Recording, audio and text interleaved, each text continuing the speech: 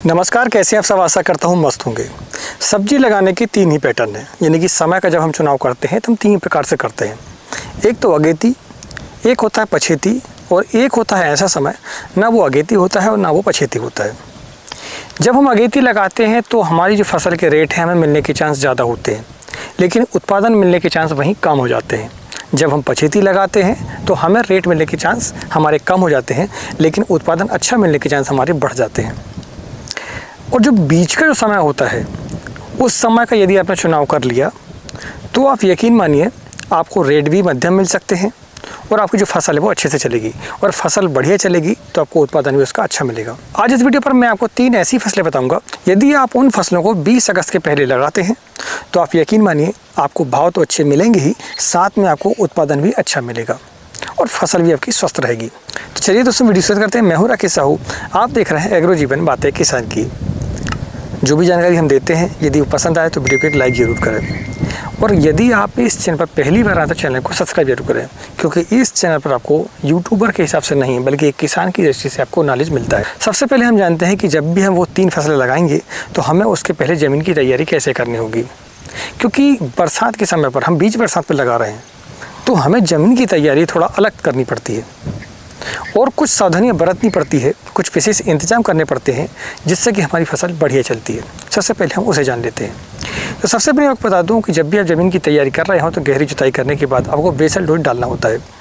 Basal dose में आप क्या करेंगे? आप डीएपी का एक बैग कम से कम और पोटास की मात्रा को कम से कम पचास के पोटास की मात्रा आपको ज़्यादा रखनी है इन फ़सलों के लिए खासकर। ठीक है? आप चाहें तो इसके में सगाई का, जो कि सीविड होता है हमारा, एपको कंपनी का था, उसे भी आप लगा सकते हैं, लगभग दस के तक। और इसके साथ में आपको कार्बोपुरान की मात्रा आपको लेनी पड़ेगी, क्योंकि इन फ़सलों पर जड़ संबंधी रोग भी आते हैं।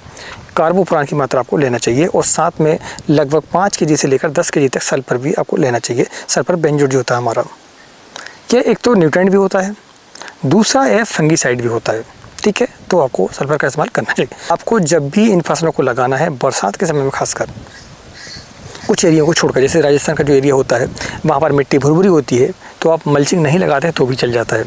लेकिन काली मिट्टी वाले एरिए जहाँ पर जलभराव की समस्या थोड़ी हो सकती है, बारिश जिन जगहों पर ज़्यादा होती है, काम करने में थोड़ी दिक्कत होती है बरसात के समय पर, और जहाँ खरपतवार की समस्या ज़्यादा होती है, इन जगहों पर हमें मल्चिंग लगाना अनिवार्य है।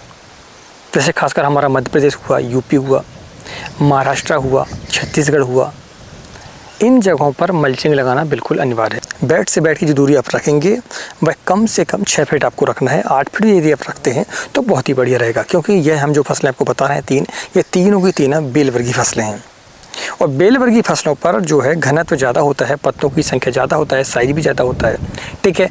और इन्हें हमें लंबा भी चलाना है, क्योंकि आप जो इस समय पर लगाने वाले हैं बेल वर्गी फ़सलें तीनों, वह आपकी थोड़ी लंबी चलती हैं, दूसरे सीज़न की अपेक्षा। पहली फ़सल दोस्तों करेला।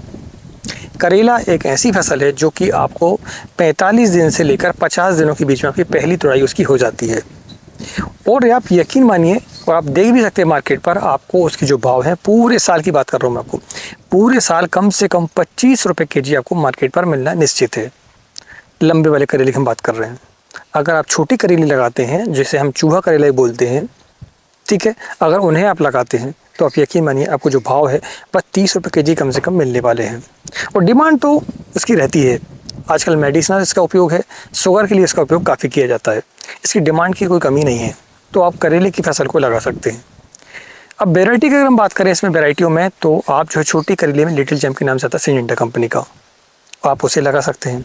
यह नैनम्स कंपनी का तेरह पंद्रह आता है, जो वो छोटा करेला होता है हमारा, आप उसे भी लगा सकते हैं। करेले में अवंसरी बहुत ही बढ़िया वैरायटी है।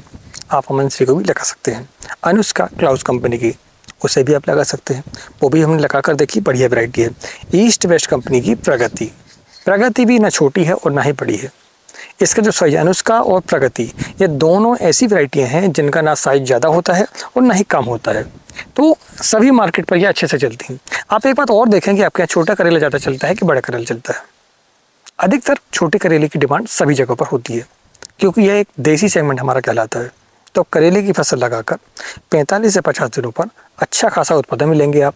सबसे बड़ी खास बात इसमें ये है कि जब बरसात पर हम लगाते हैं इन बेल वर्गी फ़सलों को तो डाउन मिल्डी पाउडर मिल्डी की समस्या हमें ज़्यादा आती है, बारिश के कारण। लेकिन जब आप 20 अगस्त तक इसे लगाते हैं तो हम देखते हैं कि हमारी जो फ़सल है, वह जो ग्रोथ लेती है, वह लगभग 35 दिनों के लगभग लेती है। यानी कि वो जो है अच्छा घनत्व उसका हो जाता है। तो जब आप 20 अगस्त को लगाएँगे तो उसका जो घनत्व अच्छा से है, वो है आपका अक्टूबर के महीने स्टार्ट होगा आपका। ठीक है? पूरा सितंबर आपकी फ़सल जो है वो थोड़ी पतली रहेगी। उसकी यानी कि जो डालें हैं, जो पत्ते हैं वो कम रहते हैं, लेकिन जैसे ही अक्टूबर चालू होता है, यानी कि आपकी बारिश ठंडी हो जाती है, बारिश आपकी कम हो जाती है, उस समय पर आपकी फ़सल जो है घनत्व मिलेगी, उस समय पर फ्लावर भी आएँगे और उस समय पर फल भी आपके लगेंगे। तो ये जो समय है, ये बहुत ही बढ़िया समय है लगाने का। इसलिए हम 20 अगस्त की आपको बात कर रहे हैं। हमने इसके पहले भी आपको नहीं कहा है। तो यह बहुत ही खास बात है इसके लिए।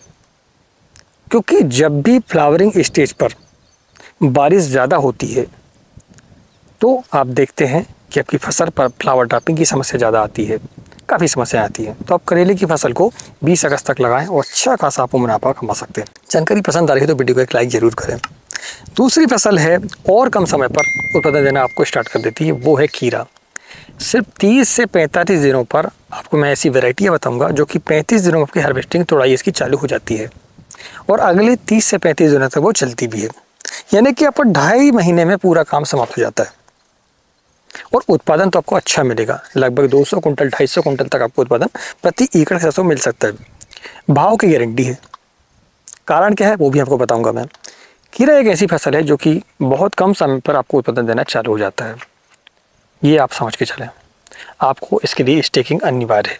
जो तीनों फ़सलें आपको बता रहा हूँ, तीनों फ़सलों में स्टेकिंग आपको आवश्यकता है। जिन किसानों ने पहले अभी जुलाई के महीने में, जून के महीने में जो खीरा लगाया था, अभी कुछ समय से हम देख रहे हैं कि बारिश ज़्यादा हो रही है तो वह जो फ़सल है, वो समाप्त होने की कगार पर है। और अगस्त के महीने पर अधिकतर जो किसान भाई हैं, वो हमारे टमाटर की तरफ़ झुकाव रहता है, उनका आपका बैगन की तरफ़ झुकाव रहता है, आपका मिर्च की तरफ़ झुकाव रहता है। लेकिन ये जो फ़सलें, ये छोटी फ़सलें हैं, कम समय पर ज़्यादा उत्पादन और ज़्यादा मुनाफा देने वाली फ़सल है। यदि आपका ज़मीन खाली है तो आप खीरे की फ़सल को भी लगा सकते हैं। खीरे की वैरायटी में अगर हम देखें तो सबसे बढ़िया वैरायटी कम समय पर उत्पादन देने वाली वी एन आर की क्रस। वी एन आर की क्रस पैंतीस दिनों में आपकी स्टार्ट हो जाती है। इसके अलावा दूसरी वैरायटी की हम बात करें तो ईस्ट वेस्ट की सायरा। यह भी बहुत ही बढ़िया वैरायटी आप इसे भी लगा सकते हैं, मालिनी। ये से भी आप लगा सकते हैं। आप इन वैरायटियों को लगाते हैं, जैसे सेमनेस की पद्मिनी है, बहुत ही बढ़िया वैरायटी है। आप अपने एरिया पर और देखें कि आपके एरिया पर कौन सी वैरायटी ज़्यादा चलती है। उसके हिसाब से वैरायटी का आप चयन करें। तो आप खीरे की फ़सल को लगाकर अच्छा मुनाफा कमा सकते हैं। इसके बाद हम लास्ट फ़सल हमारी वो है दोस्तों, लौकी। लौकी एक ऐसी फ़सल है जो कि कम समय पर ज़्यादा उत्पादन भी देती है और इस पर सब फ़सलों से लागत कम आती है। लागत कम आने का कारण है। लागत कम आने का कारण ये है कि सीड रेट इसकी कम है। सीड की संख्या कम लगती है आपको, ठीक है? इसकी तोड़ाई बहुत सस्ती है, क्योंकि बड़े फल होते हैं, एक किलो, डेढ़ किलो का एक ही फल होता है। तो आपको इसकी लेवरिंग तोड़ाई की कम लगती है। शुरुआत में बेल वगैरह चढ़ाते हैं हम स्टेकिंग करते हैं तो उस समय पर हमें लेवरिंग लगती है। लेकिन जब हमारी फ़सल हार्वेस्टिंग पर आती है तो उस समय पर हमें लेवरिंग नहीं लगती है।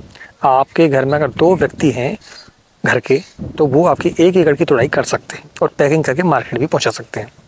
तो अब लौकी की फ़सल को लगाएँ इस समय पर। अगस्त के महीने में लौकी की फ़सल को लगाने का एक कारण ये भी है कि जो फ़सलें अधिकतर जून के महीने में अगेती लगाई जाती हैं, वह अगस्त आते तक, सितंबर आते तक ज़्यादा से ज़्यादा समाप्त हो जाती हैं।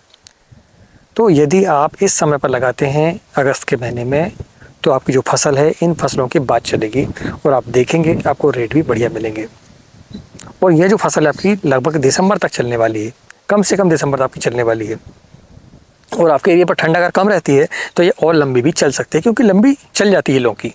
दूसरी फ़सलें नहीं चल पाती, जैसे खीरा वगैरह नहीं चल पाएँगी आप, कितना ही कुछ कर लें आप, लेकिन लौकी आपकी चल जाती है। वेराइटी अगर हम बात करें तो वेराइटी में बी एन आर की हरूना बहुत ही बढ़िया वैरायटी है। आप इसे लगाकर अच्छा खासा मुनाफा कमा सकते हैं। वी एन आर की सरिता है, माइको की वरद है। इन वैरायटियों में से किसी भी एक वैरायटी का आप चयन करें। अपने एरिया के हिसाब से और भी वैरायटी आप देखें, आपके एरिया पर कौन सी चलती हैं।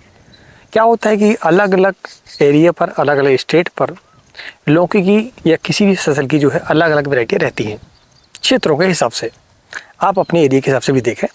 आप देखें कि आपके यहाँ कौन सी वैरायटी अच्छा उत्पादन देती है और मार्केट पर सेल किसकी जाता है। इसके हिसाब से वैरायटी का चयन करें। हमने आज इस वीडियो पर आपको तीन फ़सलें ऐसी बताई हैं जो कि बेल वर्गीय हैं और 20 अगस्त तक यदि आप लगाते हैं उन्हें तो आपको अच्छा उत्पादन तो मिलेगा ही। आपकी जो फ़सल है वो स्वस्थ भी रहेगी और भाव मिलने की तो गारंटी है। आज की वीडियो में हमने आपको जो जानकारी दी है, यदि पसंद आए तो वीडियो को लाइक ज़रूर करें। मिलते हैं एक नई वीडियो में, एक नई जानकारी के साथ तब तक नमस्कार। जय जय किसान, जय जवान।